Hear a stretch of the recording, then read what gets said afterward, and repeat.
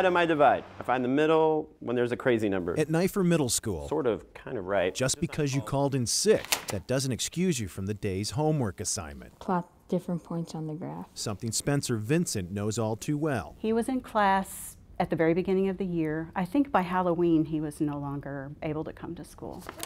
Spencer is recovering from liver transplant surgery. It won't be able to go back to school until next fall. Uh, I think it's pretty long, but I'd rather stay out longer and not get sick than go back earlier and get sick.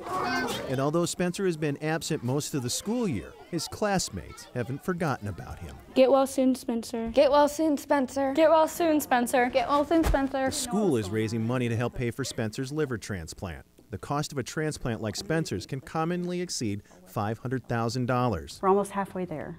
This is pretty exciting. They have raised over $20,000 and the goal is 50,000. These kids are so excited about things and so passionate about it and I see that coming through with how much they love Spencer and how much they want to do stuff for him over and above um, anything I've seen. It's just been overwhelming and amazing. And the whole school, all of the kids, all of the families, I mean, families we don't even know um, are supporting us and supporting Spencer. It's, um, it's a pretty amazing thing. For now, Spencer will keep up with his schoolwork from home, but soon he will be back at school, playing baseball and living life as a normal teenager. Thank you for supporting me and thank you for following my story.